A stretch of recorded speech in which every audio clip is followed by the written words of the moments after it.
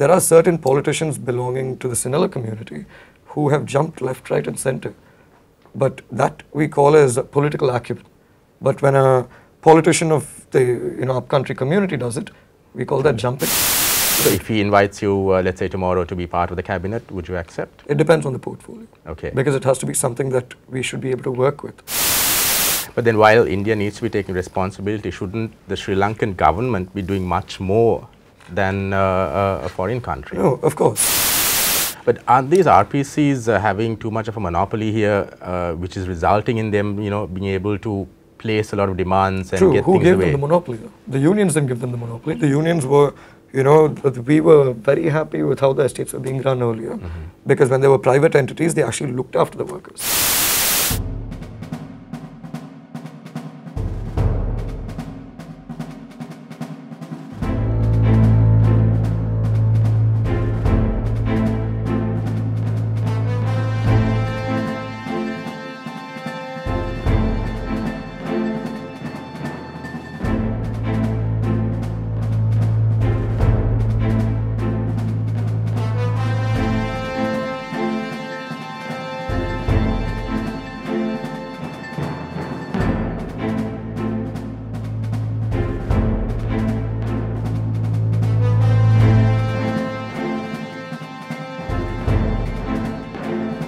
Hello and welcome to another episode of On Fire here on Daily Mirror. I'm Easwaran Rutnam.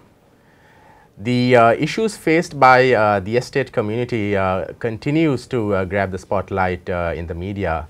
Uh, successive governments have made so many promises, but very little seems to have been done. To discuss the issues faced by the estate community and other matters, joining me on the program today is the Secretary General of the Ceylon Workers Congress, Mr. Jeevan Thondaman. Welcome to the program. So, Mr. Thondaman, what is the situation as far as the estate community is concerned? Well, I personally feel I need to correct you on that introduction which you Yes. made. You know, when uh, you say a lit- very little has been done for the estate community, I think uh, more than what has been done for the estate community, I feel people in general lack awareness on what has actually been done for the upcountry community. For example, I think uh, the numbers should speak for themselves. Initially, when the plantation workers came in, which was uh, 1823, you know, the next year is the 200th year of their uh, arrival. So initially, when they came in, you know, there was a large number. There was close to more than a million. But um, you know, gradually, if you look at modern history, around the 70s to 80s, there was about 500,000 workers. This is after the repatriation. So you are looking at 500,000 workers belonging to this community. And uh, as time went on, if you had noticed, we had brought in the Sripada College of Education, which created teachers from our very own community.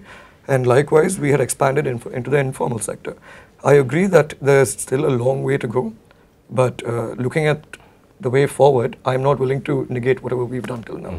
So right now, but when you say we, you're talking about the CWC no, when I say when I say we, I'm not talking about the governments, nor am I talking about the Ceylon Workers Congress. When I say we, I mean each and every representative of the upcountry community. That can involve my rival parties, or it can involve any party for that matter. Whoever's looking after the interests of the upcountry, I'm speaking on behalf of them here. Mhm. But then, do you think that successive governments have also addressed uh, these issues more? No, uh, I, I feel personally successive governments, and I mentioned this in Parliament as well. I personally feel that for 30 years, this that 30 year period was, I would believe, the dark ages for the upcountry community, and that 30 year period is between 1948 to 1977. It's because uh, you know we were rendered stateless, as you're well aware. Our civic rights were removed, and uh, you know we were not Sri Lankans, but we were living in Sri Lanka. Even today, many people refuse to accept us as Sri Lankan, and you know they still think we're Indian and Indian whatnot. origin. And I mean, uh, see, uh, there are people who trace the origins back to India. In Malaysia, for example, there's a Malaysian Indian Congress. Mm-hmm. Are you telling me the representatives of Malaysian Indian Congress are Indian?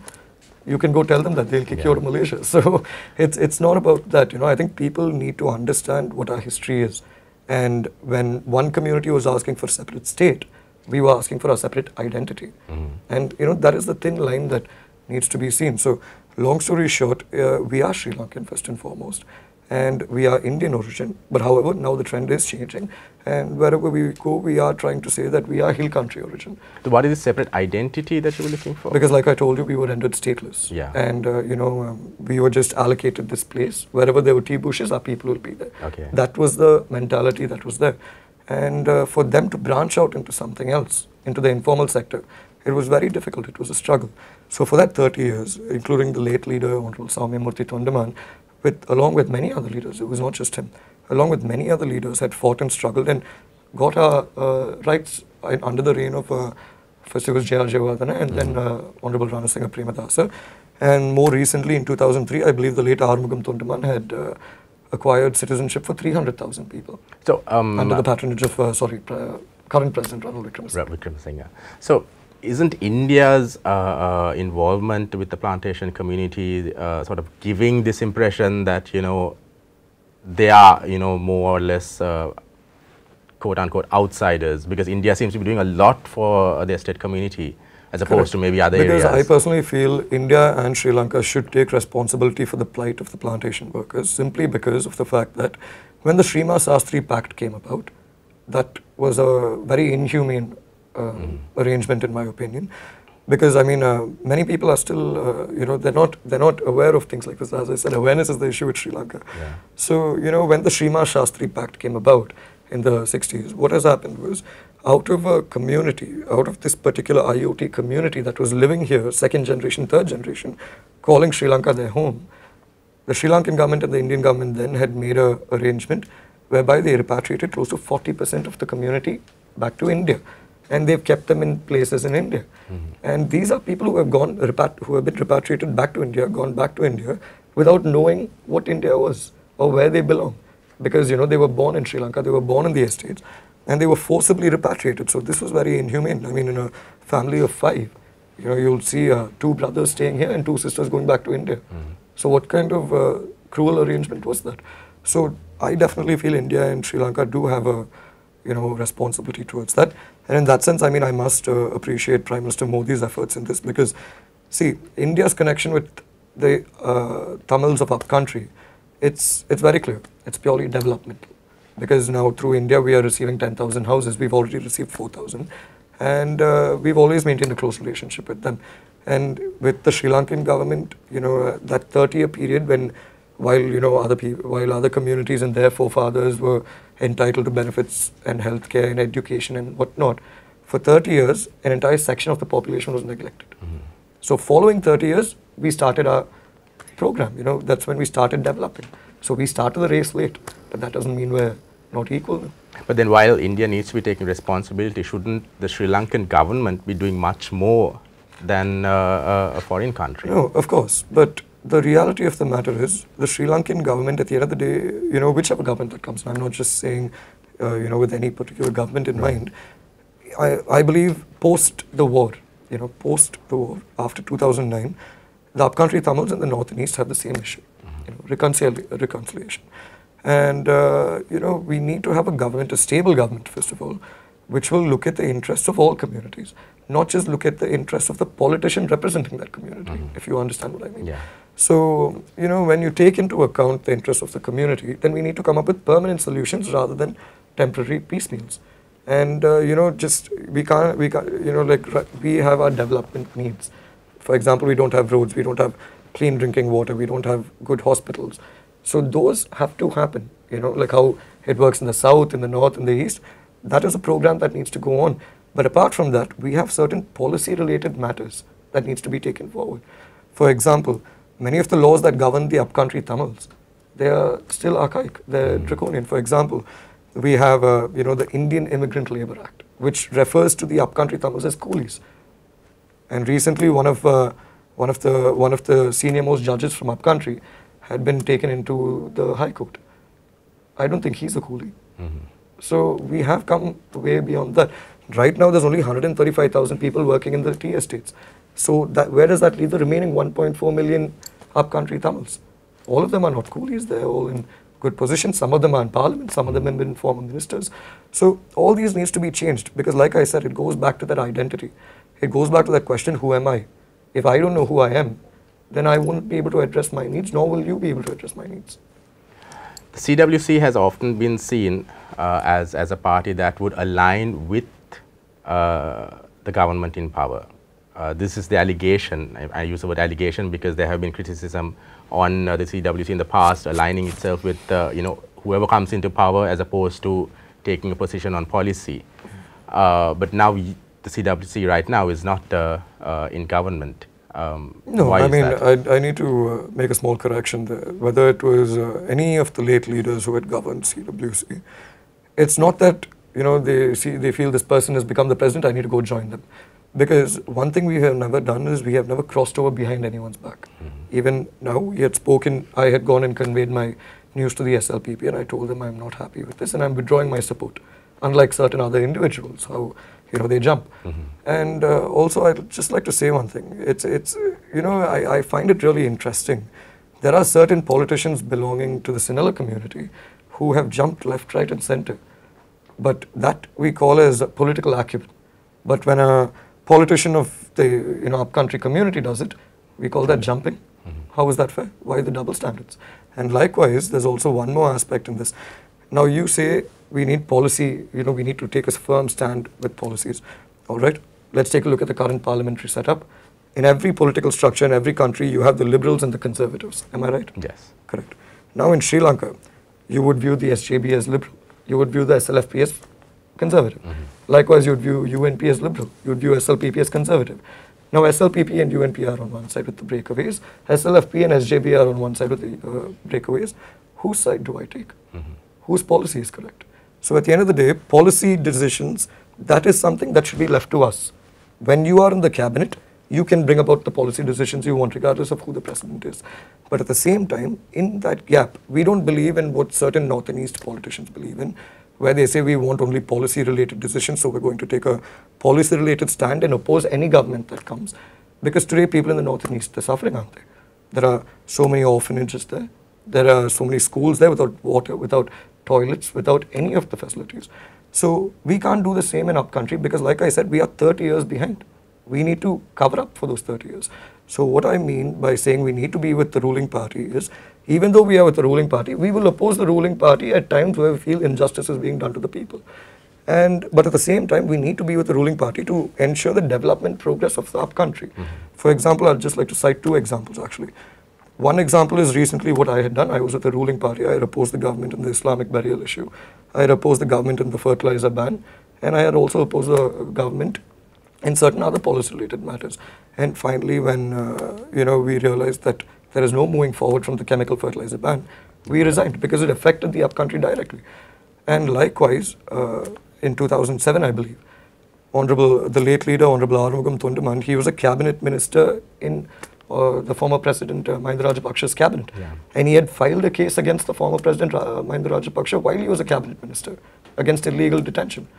So we, regardless of whether we, uh, you know, we're being in the ruling party or the opposition, as long as our backbone is intact, we'll always make a decision by the people. But uh, why aren't you with the government right now? I mean, Ranil Wickremesinghe, when he became prime minister, he had invited uh, a number of political parties to join in. Isn't there more that you can do if you are No, part of but uh, we have given our consent to be part of the government. Ranil, Honorable uh, Ranil Wickremesinghe had, in fact, contacted us the day he was sworn in, and he had told us we would like for you to join the government.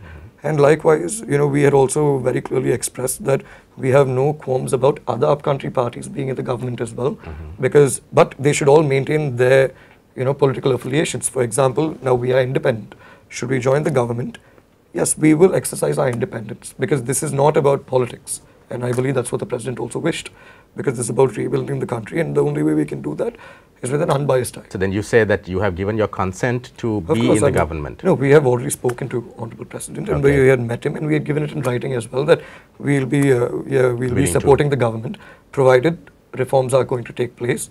And there's a deadline as to which, uh, you know, progress is to be made. So made. if he invites you, uh, let's say tomorrow, to be part of the cabinet, would you accept? It depends on the portfolio. Okay. Because it has to be something that we should be able to work with. You know, there is no point in me taking a portfolio for namesake just to have that prestige as Sri Lanka's youngest ever cabinet minister. It's Yeah. not a, it's not a, it's not a show. No? But you are willing to be in the cabinet and Of work with him to address the issues of, Of course, the I mean, plantation either me or any other political party, whoever wants to come on board, we'd be more than happy to entertain. Now, this, this issue with uh, uh, the, uh, the uh, regional plantation companies is something that is continuing and it doesn't seem uh, like there's going to be some compromise anywhere. Uh, do you think that the RPCs are holding uh, the plantation workers hostage?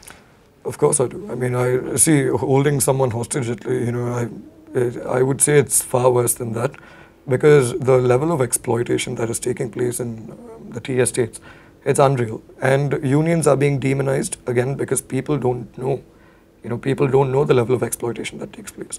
And also, you know, Colombo is a very small place. And when Colombo is a very small place, the RPC CEOs, all of them move along with pretty much everyone, unlike the unions. So, you know, you can never demonize them. But the reality of the matter is, the situation is far worse. You know, I mean, the, recently the UN rapporteur, he had come down to Sri Lanka, Yeah. and in his report, he has very clearly mentioned Sri Lanka is exhibiting modern uh, forms of slavery.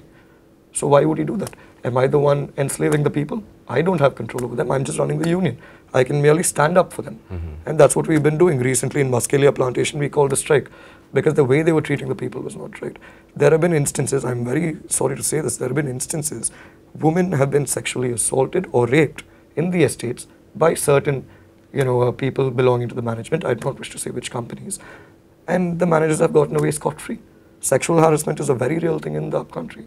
And um, what pains me is that people are not able to open their eyes and see it. Because with the RPCs recently in Maskeliya plantation and Agarapathana plantation, both the plantations in one week, two people have been electrocuted.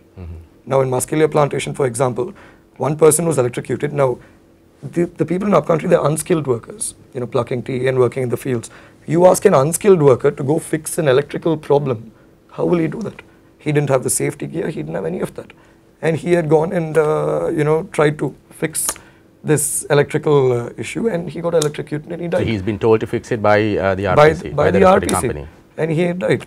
And he was 25, he was engaged. His name is Ganesh Murthy. Mm-hmm. And that is a very bad, uh, you know, uh, way to run the estates. Apart from that, now recently in Agarapathana plantation, far worse. The person who had died, Mr. Ramakrishnan, he was 48 years old. He's the father of three children. He had gone and he had been electrocuted by an illegal fence in the estate. Now, when we speak to the RPC, they say, no, that fence was not put up by us. It was illegally put up. But By who? That's the question. Now, if it was illegally put up, you have to be accountable to it. It's your estate. JDB has given it on lease to you. It didn't give it on lease to the encroacher. And uh, what's worse is when that person had died, they had tried to cover it up and say he had a heart attack. Now, if we didn't step in and ask for a post-mortem report, we wouldn't have known. Now, in both cases, now in the Maskeliya plantation case, we had fought and we had received the highest level uh, of compensation for that worker. They were agreeing to pay 15,000 rupees for, the per, for a 25-year-old who died. And we made them pay 4 million. And likewise for Agarapathana plantation, we've kept our demands. And we are looking at close to 5 million plus the education costs of the children to be covered and a self-employment module for the wife of the deceased. But you know, this does not this is not going to bring the person back. Yeah. But aren't these RPCs uh, having too much of a monopoly here, uh, which is resulting in them, you know, being able to place a lot of demands and True. get Who things gave away? them the monopoly? The unions didn't give them the monopoly. The unions were, you know, we were very happy with how the estates were being run earlier, Mm-hmm. because when they were private entities, they actually looked after the workers. Now with the RPCs, it's all dollars and cents. You know, in Parliament, I've mentioned there's a saying. You know, when there were planters, the estates were doing very well. Now there are no more planters. It's all chartered accountants. They know how to balance the books. They don't know how to balance the people, and because of that, people are suffering. That's the reality of the matter. You know, eh, when we go for a wage increment, people criticize us for the wages the plantation workers are receiving. Plantation workers in Sri Lanka, one of the highest paid wa- wage earners in the world. People should know that. Last time when the late leader Arumugam Thondaman was there, we had received a 200% increase, which has never before been done. Now, even though we had done that, after the wages board, we received the thousand rupees, the much questioned Yes. thousand. We had received a gazette notification through the wages board. We had passed thousand rupees. But that is also still not coming into the No, hands but of the workers. no, but what should the companies have done? They should have said, okay, we honor the gazette and we will pay. Yeah. But they did not do that. They went for an interim in- injunction.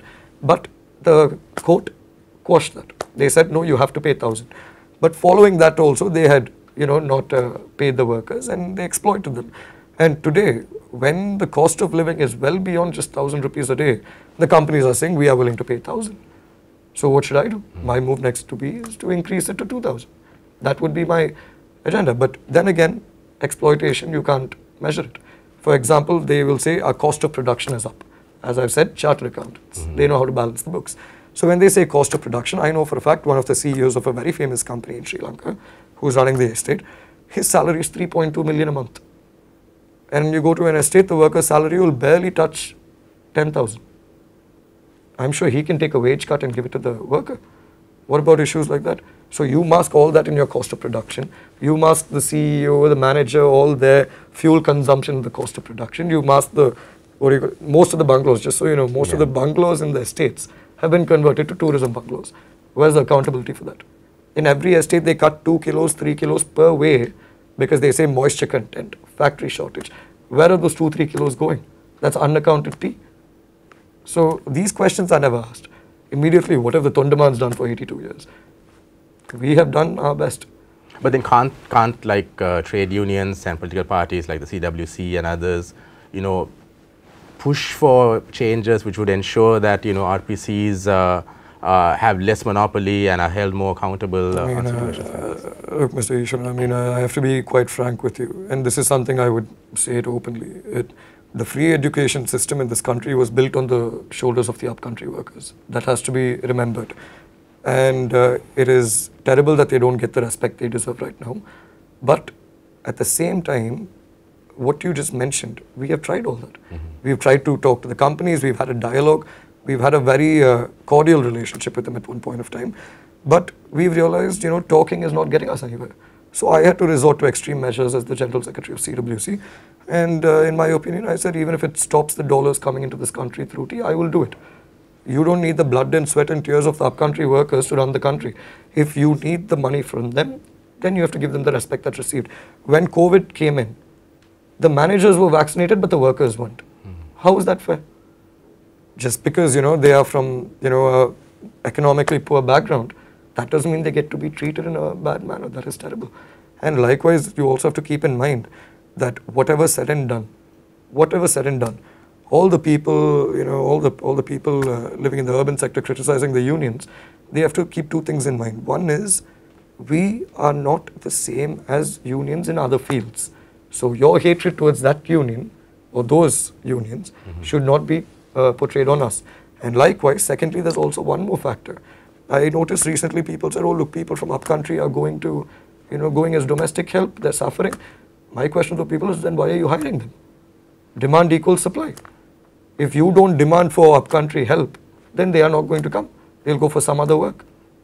So, you know, please, uh, let's not be hypocritical, is what I'm trying to say. I'm not going to shy away from criticisms, but something so toxic where people are not able to accept reality and see how to come to a solution, then there's not much we can do. What, uh, what's the future of the CWC as a political party? Uh, I noticed recently at the elections you all started going beyond, uh, uh, you know, Nuwara Eliya and Hatton and started campaigning in other areas as well. Are you looking at expanding uh, uh, as a political party? The CWC is one of the oldest political parties in the country, about 82 years, and this will be our 83rd year next. And being that, I'd like to remind everyone that the CWC at one point of time decided the government of Sri Lanka. You know, we had 12 MPs, but due to divisive politics and uh, various other reasons, that had unfortunately broken down. But that did not shatter our strength as we retained our membership even till now. So it's not about expanding. If we look at an area and we feel our style of politics, our style of working, where a political solution and a development solution is parallelly needed, then we will definitely expand. There's no doubt about that. So that's that's Do you do you see? Uh, I ask this because this is being discussed these days as well. Is do you see the CWC aligning itself once again with uh, the Rajapaksa administration? It's not about CWC aligning itself with anyone anymore. It's about whoever the person being. They have to align themselves with our mentality because we are speaking for the community. And uh, even though we are two MPs now, I feel we made we made a, a loud loud enough noise to grab the attention of certain other people.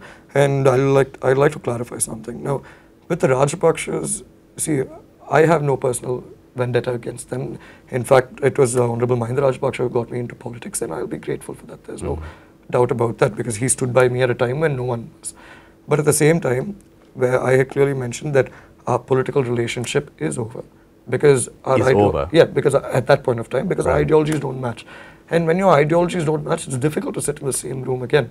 So um, you know, even though that relationship will be there politically, I I find it highly doubtful for the time being at least, unless there's a drastic change in the mindset of SLPP. Okay. There's a policy shift. So come an election, I mean, I know it's too early, but come an election, I mean, would you all be uh, looking at uh, supporting an opposition candidate, or would you all uh, consider aligning yourself with, you know, let's say if Ranil Wickremesinghe continues, then aligning his, yourselves with him?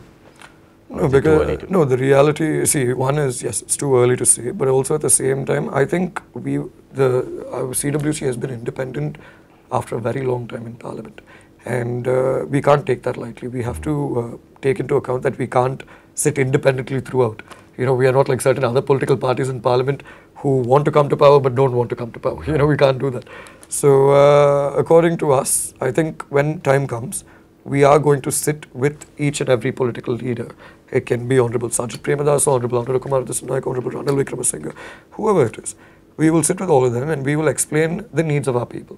And whoever gives us a practical solution, we would be more than happy to support. Why aren't Tamil political parties coming together, uh, uniting and working as one force? It See, seems but- to be all, no, all but, split. But, but that's the mentality I don't understand, nor do I like. What is up with this? Tamils should come together, Muslims should come together. We're all Sri Lankans at the end of the day. right. You know, and that, that is such a toxic mentality to say Tamil should come together. You know, you have certain Tamil MPs accusing the Sinhala MPs of But then you're speaking on behalf of one community. You have the, t- the TNA speaking And- on behalf of the Northern Tamils. No, because the aspirations are different. Mm-hmm. It's two different aspirations. So, mm, two different aspirations and also two completely different mentalities. So, as I've said before, separate state, separate identity. Yeah. You know, but right now with the youth, they don't care about a separate state. They don't care about separate identity. They want three meals on the table. They want employment. They want access to education, healthcare, whatnot. But clearly, no one's getting it. But the Tamil parties, by all Tamil parties uniting, it's just going to cause more divisive politics. You know, it's it's that simple. What I feel is there has to be a healthy understanding between all parties.